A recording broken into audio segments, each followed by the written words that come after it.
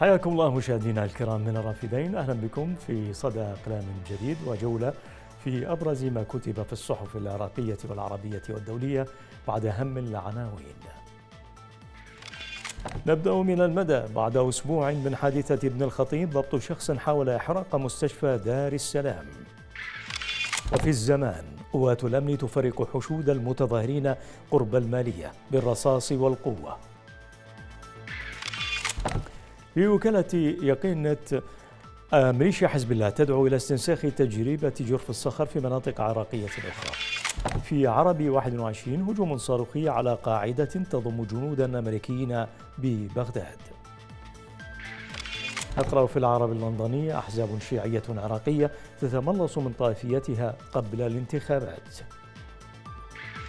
نطالع في الجارديان ملايين السوريين في خطر من جراء تصاعد كورونا. عنونة القدس العربي وزير الدفاع التركية توعد حزب العمال الكردستاني من شمالي العراق.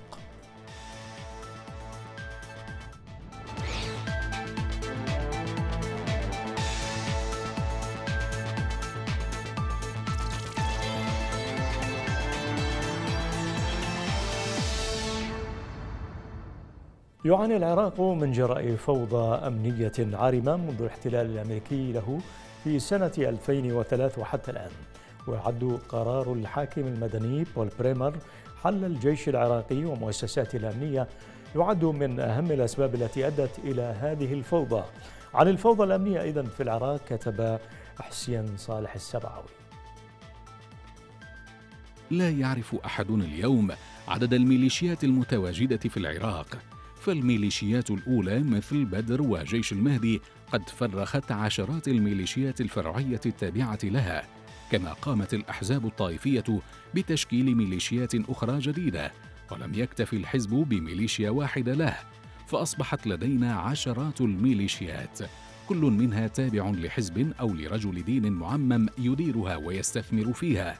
كما أصبحت هذه الميليشيات تمارس جرائمها ضد الشعب العراقي دون أي رادع لها. بل وتعتبر نفسها فوق القانون والدستور فهي تقتل وتعتقل وتنهب المال العام والخاص وتبتز المواطنين بل تبتز حتى السياسيين في الدولة فهي تكمم الأفواه وتحرق القنوات الفضائية غير الموالية لها بينما القوات الأمنية تقف بجانبها إما متفرجة أو مساندة لها والغريب أن هذه الميليشيات كلها تسمي نفسها بلفظ الجلالة أو بأسماء مقدسة مثل حزب الله وربع الله وجيش المهدي وغيرها.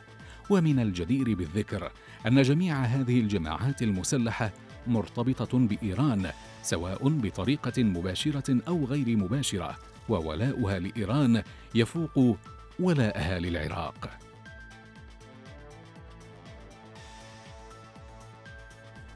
يضيف الكاتب أن ما يجري من فوضى في العراق وبرضا أمريكي وبتنفيذ إيراني. وأن التخاذ ما بين أمريكا وإيران هو السبب في تدمير أكثر من أربع عواصم عربية. والبقية تنتظر موعدها حسب ما مرسوم لها من خطط أمريكية إيرانية لتدمير المنطقة العربية عن بكرة أبيها.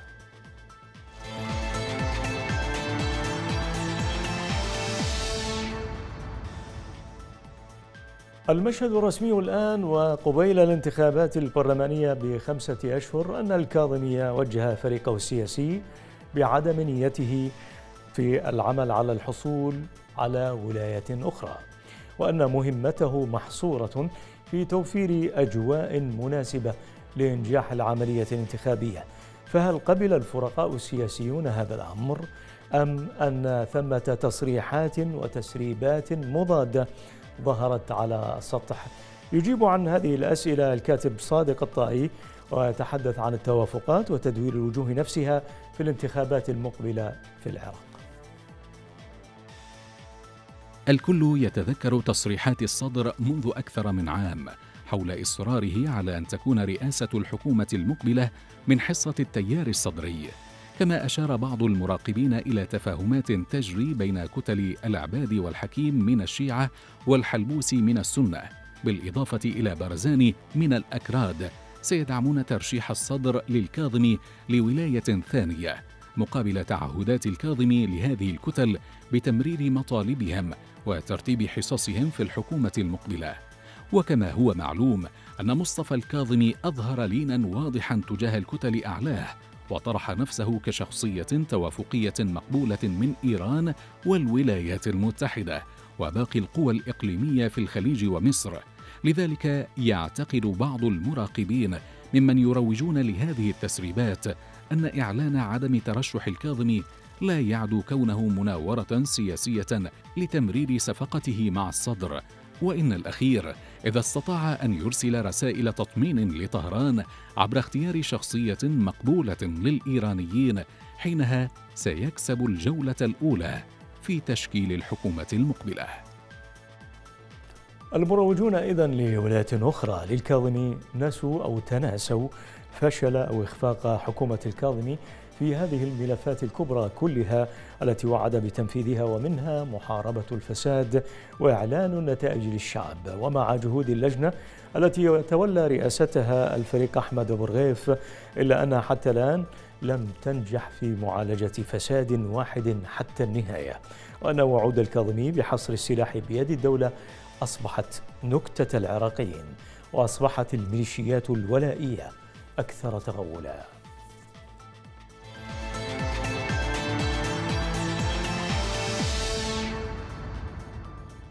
سجلت وزارة الصحة في العراق في أواسط شهر أبريل نيسان الماضي سجلت المصابة رقم مليون بفيروس كورونا. وبحسب أرقام رسمية فقد توفي أكثر من 15 مليون آه، أم 15 ألف مواطن من جراء الإصابة بهذا الفيروس في غضون سنة من اجتياح الأراضي العراقية. وتفاقمت أزمة الفيروس في العراق أكثر من غيره لأسباب عدة منها تهالك المؤسسة الصحية والفساد المستشري في الدوائر المعنية. فلنتابع تفاصيل هذا التقرير لوكالة يقينت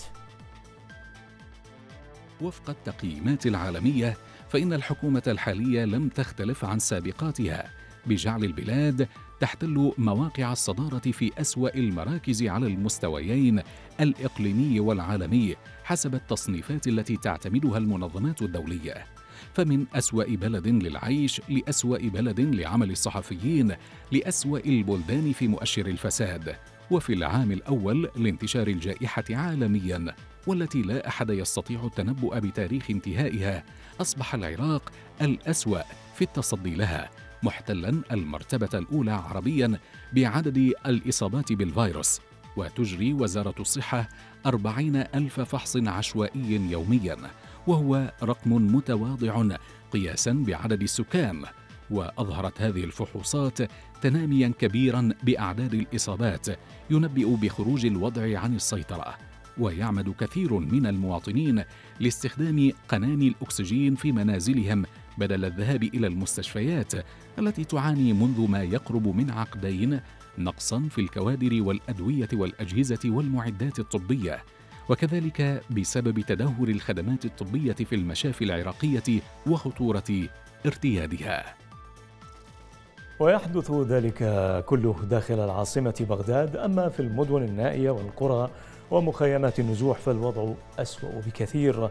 وبنحو مليون ونصف مليون نازح داخل البلاد يعيشون في مخيمات لا تتوافر فيها أبسط مقومات الحياة الضرورية فضلا عن ظروف الجائحة يعتقد موظفون من منظمة أطباء بلا حدود وجوب منح العراق أولوية عالمية في التصدي لهذا الوباء.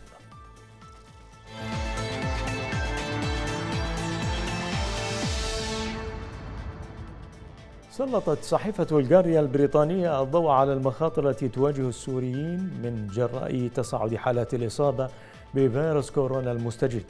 وقالت الصحيفة في تقرير لها إن ملايين السوريين في خطر جراء تصاعد هذا الوباء ومع نقص لوازم الاختبارات والأكسجين متطرقة إلى التحذيرات الأممية والدولية من أن الموجة السريعة والمتسارعة من هذا الفيروس قد تعرض ملايين السوريين في خطر. رغم الأرقام الرسمية المنخفضة لحالات الوفاة في سوريا جراء كورونا إلا أن جمع بيانات موثقة في البلاد التي تعيش حالة من الضعف أمر شبه مستحيل. 90% من السوريين في مناطق النظام والمعارضة والأكراد يعيشون في الفقر مؤكدة أنه بعد مرور أكثر من عام على أزمة كورونا العالمية لا تزال مرافق إجراء الاختبارات في سوريا غير موجودة ما يجعل من المستحيل على العاملين في مجال الرعاية الصحية تقييم أثر المرض أو التمكن من احتوائه. المناطق الخاضعة لسيطرة الأكراد لا يوجد فيها إلا مختبرا واحدا لإجراء فحوصات كورونا وتبدو أدوات الفحص فيه على وشك الانتهاء خلال الأيام المقبلة مع ارتفاع عدد حالات الإصابة. سبع منشآت للعلاج في سوريا ممولة من الأمم المتحدة ومنظمات غير حكومية اضطرت إلى الإغلاق بسبب نقص التمويل. مضيفة أن العدد القليل من المرافق العلاجية التي بقيت مفتوحة بدأت إمدادات الأكسجين فيها بالنفاذ ونقلت الصحيفة عن مديرة السياسة والمؤازرة للمنطقة في لجنة الإنقاذ الدولية ميتسي بوسويل قولها إن 83% من المرضى الذين يعتمدون حاليا على أجهزة التنفس الصناعي يموتون. ونخشى أن الأمور ستزداد سوءا في سوريا. فالنظام الصحي يعاني هناك من جراء صعوبات في استيعاب المرضى والوضع هناك يتدهور بسرعة فائقة.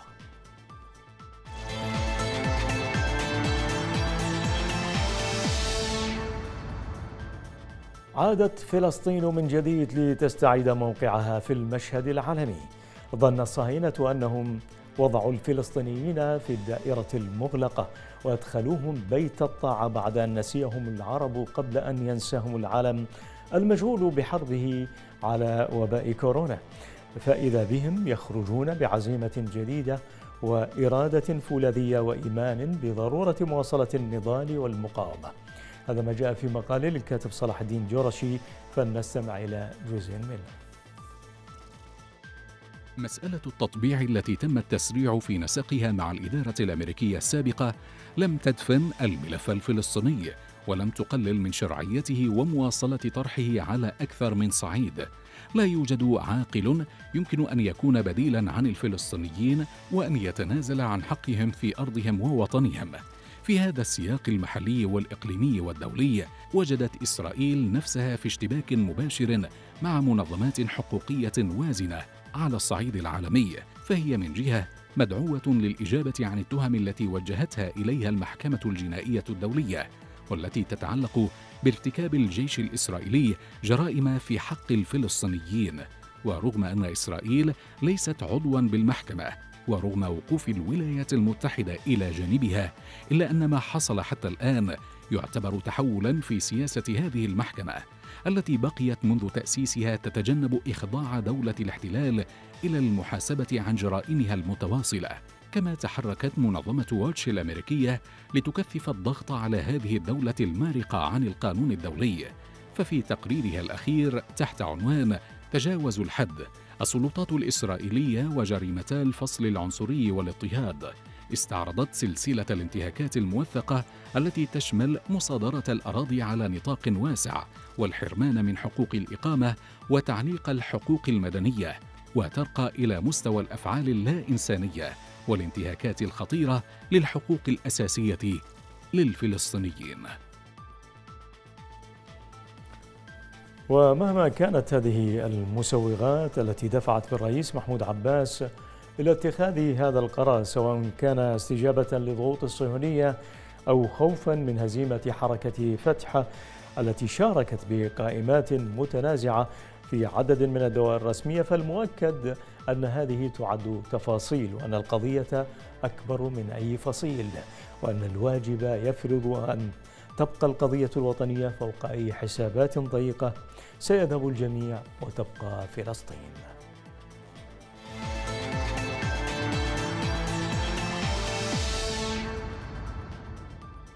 في مقال نشرته ذا أتلانتيك تساءلت فيه عن السبب الذي يدفع الناشطين العرب إلى الاحتجاج بعد تجربة الربيع العربي الفاشلة. وتذكر الكاتبة أن هناك جيلا جديدا من الناشطين العرب والقادة الذين أدوا دورا في هذه الانتخابات أو الانتفاضات الفاشلة. قد تعلموا الدروس من تلك الثورات التي جعلت حلم الديمقراطية بعيدا وجعلت الدكتاتوريين متمرسين في مواقعهم والحروب التي دمرت دولا. بأكملها وسط اليأس والخوف هناك جيل جديد من المحتجين والناشطين الذين خرجوا إلى الشوارع منذ عام 2019 في بلدان مثل السودان والعراق ولبنان والجزائر. وتعلم هذا الجيل الجديد درسا مهما وهو أن الثورات يمكن أن تغير النظام لكنها لا تنشئ الدول. وهم يقومون بتنظيم أنفسهم ودراسة قوانين الانتخابات والتخطيط للدولة التي يريدون بناءها. دولة تخدم المواطنين لا الحكام. وتعلموا من نكسات عام 2011 أن ما ينتظرهم أبعد من انتصار سريع في انتخاب واحد ولكنهم يواجهون بالإضافة للتحديات المعروفة التي تواجهها المعارضة والناشطون عالما يمثل عائقا كبيرا لمن هم في العالم العربي. حيث يتم تصيدهم واحدا بعد الآخر ويطلق عليهم النار في الشوارع أو في بيوتهم ويختفون قسريا أو يرمون في السجون رجالا ونساء على حد سواء. أضافت الصحيفة في العراق ولبنان هناك الميليشيات التي تدعمها إيران والقوى الخارجة عن سيطرة الدولة. ففي أثناء الاحتجاجات العراقية التي بدأت في شهر تشرين الأول أكتوبر عام 2019 قتل مئات وفي العام الماضي قتل ثلاثون ناشطا وعضوا في جماعات العمل المدني في اغتيالات حملت الميليشيات المدعومة من إيران حملت مسؤوليتها.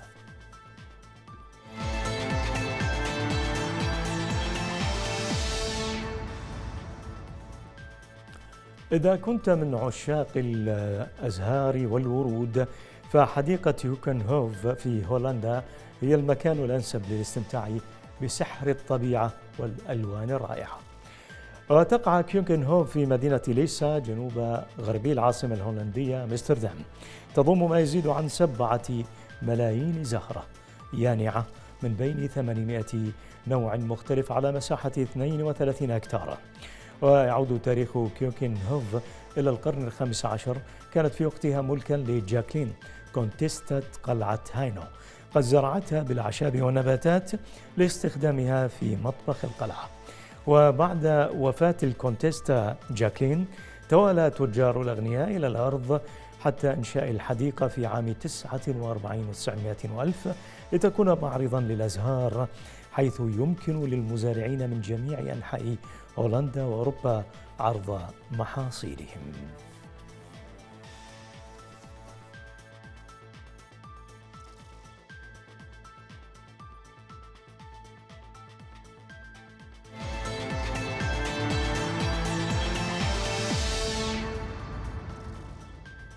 نبقى المشاهدين الكرام مع مجموعة مختارة من الرسوم الكاريكاتيرية.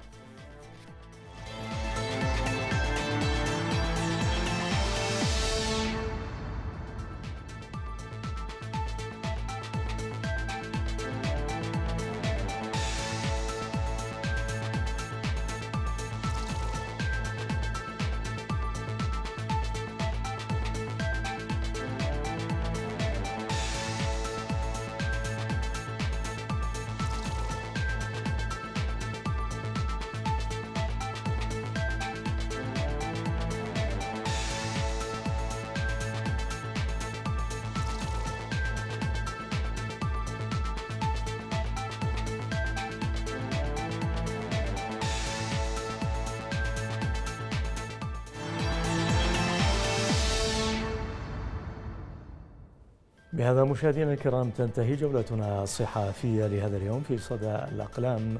نلتقيكم غدا بإذنه تعالى في رعاية الله.